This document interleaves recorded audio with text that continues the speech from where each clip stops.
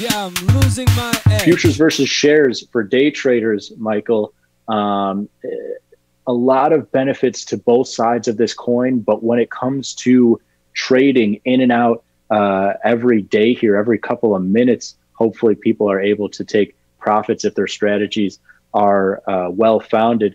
Futures a lot more benefits than those shares, uh, mm-hmm. and I wanted to tap into this with a very simple, simple example, which is just Wednesday's action following the uh, election day here in the United States in STIX futures, small exchange, small technology futures there, which is 60 technology stocks that span biotechs, information technology, uh, retail technology, and media technology stocks there. And I wanted to compare it to the action in NASDAQ using QQQ shares. And the, the question that often gets posed to guys like you and me, Michael, uh, working at the small exchange here is, you know, if tech stocks and tech futures trade so similarly, then why would I even opt for futures? I mean, you look at this chart here, and it's almost one for one action uh, between these two markets, and it's a lot of action following election day. What? Why would I go for for one over the other? Hmm. I think that for a long time, ETFs were the only accessible option for a lot yeah. of traders. You look at the most actively traded ETFs, and commonly it's SPY, which is the S and P 500, and QQQ, which is the NASDAQ, uh, just because they're simple. Uh, they're kind of what I'm used to. If I've traded Apple before, I can pretty easily move from Apple shares to mm-hmm. an ETF like QQQ, just priced the same way, moves in the same number of increments. Uh, but nowadays, with small exchange products, you can get that access and maintain that simplicity. You don't have to go from, well, uh, you know, QQQ, let's say $285 here. Now I'm moving to a NASDAQ product, which is $12,000 to trade. Yeah. Uh, with something like STIX, the small exchange feature, you get that same access without putting up a huge chunk of change. Yeah, absolutely. I think that the and it's something that we're not even touching on because I want to go deep on this topic for day traders. But before even getting there, day traders or less active traders, uh, investors, if you will, uh, alike are probably um, disincentivized to make the jump from NASDAQ shares to NASDAQ futures or any market shares to uh, the futures of those equities um, because just starting out the way that they look, you know, the, the mm-hmm. NASDAQ uh, shares going from 285 to 286. Well, that's just a dollar times however many shares I have. NASDAQ futures not the same, whether you're dealing with e-mini futures or micro e-mini futures or the big futures that were created decades before the e-minis. It's it's a lot to deal with, and it's a lot of people just uh, instantly turn off to it and they're like, I, I don't even care. And um, yeah, I don't know.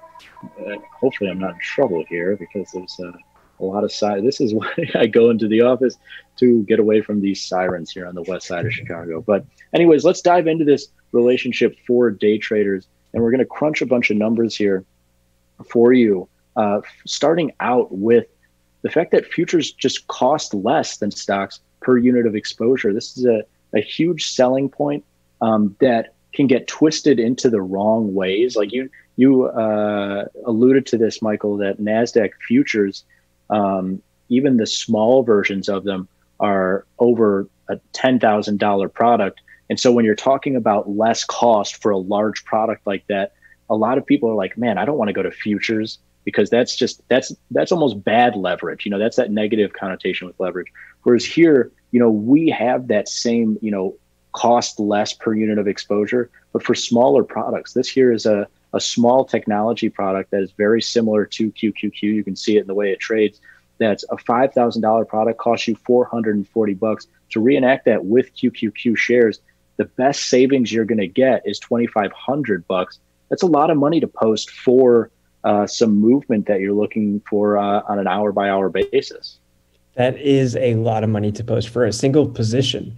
I mean, if you wanted exposure to technology and you also wanted exposure to oil or interest rates or single stocks, you really you're pushing the bounds of your portfolio if you're trading QQQ and the beauty of the future. I mean, this is not to be understated. You're getting five thousand dollars of exposure for just $440. I mean, that's significant capital efficiency and, and mm-hmm. cost saving that's really only exists with futures. It doesn't exist with fractional shares.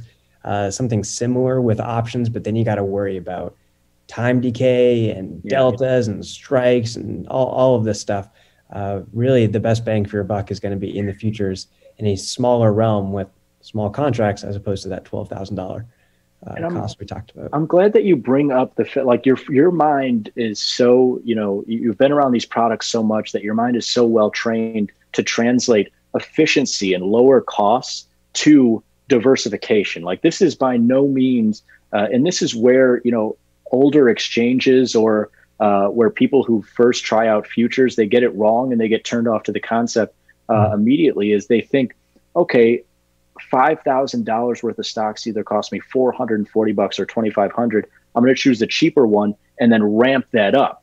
No, we're we're talking about you know taking this cheaper option so you can go to diversified markets like Michael was speaking to. I'm glad that you brought that up. Now, going along this trail a little bit further, you look at Wednesday's return. And so I know that day traders don't look at just buying on the open and then selling on the close, but just to, to uh, illuminate this concept a little bit further, if you had done that, that would have been a STIX return of 18% versus 2.8% per share that you bought in QQQ. This enhances returns and like michael eloquently hit on it leaves more capital for your other trades. I mean wednesday everything was moving mm-hmm. okay? And so if i had you know $2000 or or whatever to trade on wednesday and i i was able to only put all of that money to one position in qqq and get this 2.8% return that's great. That would have been it's it was a big move. That's a great daily return for one uh one market there. But what would have been much better is if I could take that two thousand dollars, put five hundred to my uh, technology stocks position, and then go take advantage of all the movement that we saw in foreign exchange, in commodities, in just different stock markets as well, right? Yeah, and if you're a day trader, you want to be selective in your trades, right? If there's only a finite number of opportunities, you got to choose which one you want to allocate capital to. Uh, I mean, a 2.8% move in QQQ is a pretty big move, too. Yeah. I mean, if you're day trading the Qs, you know they're probably moving maybe like half a percent, uh, sometimes sure. a percent on a daily basis. So when when a, an opportunity comes to make 18% return on capital with STIX, uh, you want to be there and seize that opportunity. You don't you don't see it every day, um, but you're going to get more of those opportunities with futures than you would with the ETFs. Absolutely. And and you know, getting a little bit deeper into it, you've got these opportunities throughout the day. And this is what a true active day trader is looking at, Michael, is you know, buying uh, where you think it's cheap and then offloading that risk. Hopefully, I mean, my best trades when I was professionally trading at the the Chicago Board of Trade, uh, what you want is to be in and out of a position in 30 seconds, right? Like that's the sign of a, a, a well, it could be a really bad a really bad position, but usually that's a sign of a great position. Is oh, I bought this technology, uh, these technology stocks, then I'm immediately able to take a profit on that. Not the case here when you're talking about QQQ shares or shares of anything, because pattern day trading regulations don't allow you to trade frequently in short time frames here. And these futures are both affording you flexibility in their, their efficiency, their lower cost, but also, Michael, uh, they're getting around this pattern day trading uh, that is inhibiting a lot of activity for uh, uh, day traders. If you want to speak to the, I know you know more about pattern day trading than I do. I've been burned by the pattern day trading rule many times in the past, and nothing is more frustrating. Uh, I mean, you're trying to increase your number of occurrences. That's what probabilistic trading is all about. And if you're limited in selection even further, you know, one, you're looking for great opportunities this is a perfect setup. Uh, maybe you like your existing position, you're expecting a news announcement. That's one reducing your number of opportunities. Then only having three bullets, it makes it really difficult to trade. Uh, I would much rather have the flexibility to put on five positions, peel off some, maybe add to a position, adjust. Yeah. Uh, if a new and better opportunity comes up, I want to close my existing exposure and reallocate there. So with the cost savings and with no pattern day trading restrictions, I don't know why every day trader isn't considering smaller futures. Yeah, I mean, you look at especially a day like Wednesday after uh, election day. I mean, between each of these little dots that I kind of just threw out there for you know just whatever reason, there's no science to it. but between each of those uh, dots is about 40 or 50 dollars of opportunity mm-hmm. and so while you could you know we showed this return that's beautiful buying once and then selling once that's great. But what's especially great is you've got a move from 54 to about 55 in STIX. That's a hundred dollar move per contract. In the midst of that wednesday trading you've got probably like 300 400 dollars worth of movement back and forth here. I mean, you've got right here starting out the day a move from 54 up to uh, 54.70, back down 30 cents, up 40 cents, down 20 or 30 cents, new highs up here. I mean, that's what day trading is all about. And you can't get around that with shares of stock. And that's Final, just Michael. one market too, Frank. Imagine you have a multi-screen yeah. setup. You're also sure. looking at precious metals, at dollar, at these other uh, markets we spoke to at the beginning of the show, I mean, there's there's so much there to take advantage of.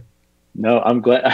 I'm glad you stepped on the last slide here because you're so animated about this. Because you're totally right. I mean, we're just talking about literally trading one sector of one asset class. When you bounce that out to metals, energies, everything else, um, your hands are really tied. It's like, all right, I got one shot in all of these markets here on Wednesday when I should have the flexibility to take multiple shots at all these markets.